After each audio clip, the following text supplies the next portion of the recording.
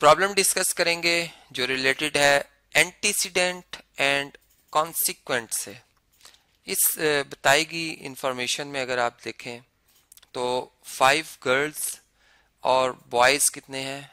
अगर आप काउंट करें तो फिफ्टीन बॉयज़ हैं। इनकी रेशो बनी है फाइव टू फिफ्टीन, ठीक है?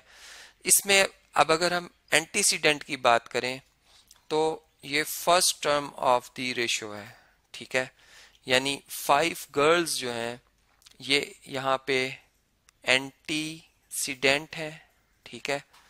जबकि जो second term of the ratio है, जिसमें फिफ्टीन बॉयज़ लिखा हुआ है, ये क्या है जी? ये कॉन्सिक्वेंट है।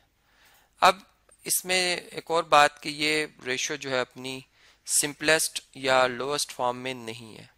मतलब हम इनके फैक्टर्स बनाकर मज़ीद इसे लोवेस्ट फॉर्म में ले जा सकते हैं, ठीक है? यानी देखें आप यहाँ पे तो आप इसे फाइव मल्टीप्लाई बाय वन लिख सकते हैं। यानी फाइव और वन ये फाइव के फैक्टर आ गए, चूँकि फाइव एक प्राइम नंबर है। इसी तरीके से थ्री और फाइव इनका प्रोडक्ट भी फिफ्टीन होता है, ये फिफ्टीन के फैक्टर्स आ गए।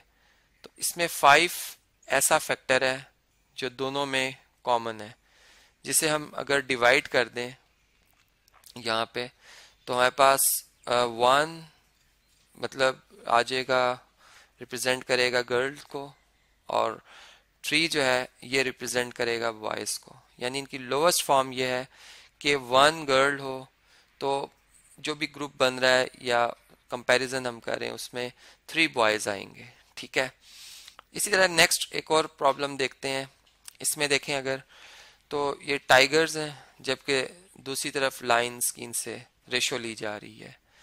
तो टेन जो है काउंट करें तो ये टेन टाइगर्स हैं, जबकि कंपैरिजन में फोर लाइंस हैं। तो एंटीसीडेंट क्या आएगा फिर? एंटीसीडेंट होगा हमारे पास एंटीसीडेंट लिखना था मुझे यहाँ पर।